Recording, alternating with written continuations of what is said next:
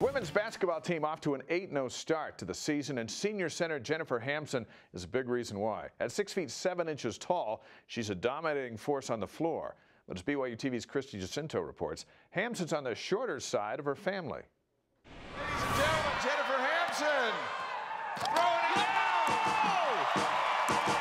Jennifer Hamson towers over everyone on the basketball court, but in her family, she blends right in. We have five children, and Jennifer's going to end up being below average in height in our home. Hamson stands at 6 feet 7 inches, and so do both of her parents, but it's her siblings who make up the tallest members of the family.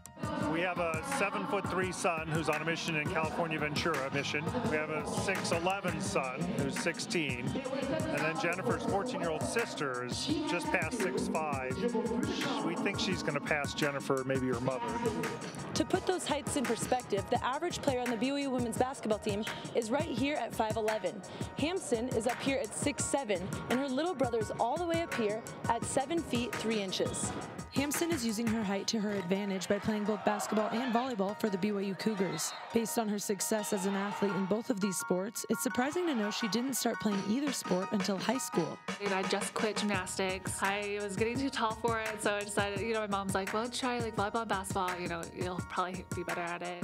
With her mom's help, she tried out for volleyball and basketball in ninth grade.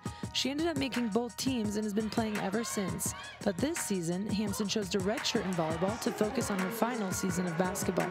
She'll start competing with the volleyball team again next fall.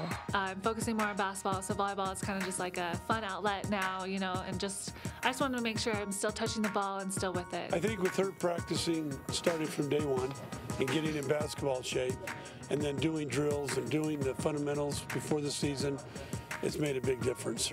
Christie Jacinto, BYU TV Sports.